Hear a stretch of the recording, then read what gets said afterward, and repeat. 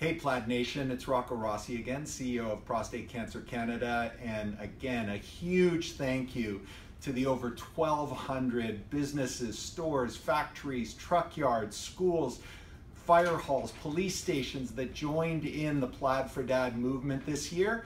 And we'll be accepting donations at plaidfordad.ca well into the summer. But today, Thursday, at 5 p.m. Eastern Standard Time, is the deadline for our leaderboard to determine the bragging rights for those who have led Plaid Nation in this campaign. And we've got some exciting battles underway. Can anyone catch the Canadian Trucking Alliance and their industry leading Arnold Brothers Transportation before 5 p.m. today?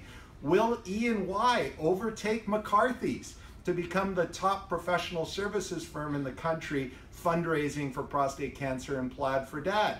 Will anyone in the financial services sector be able to catch up with Echelon Wealth Partners? I'm talking to you, Scotiabank, to you, uh, Royal Bank, to you, Servus Credit Union in Alberta, all doing amazing jobs. So remember, get those donations in before 5 p.m. today, uh, Eastern Standard Time, for your chance for great bragging rights. And again, from the bottom of our hearts, thank you for making Canada Plaid Nation again this year.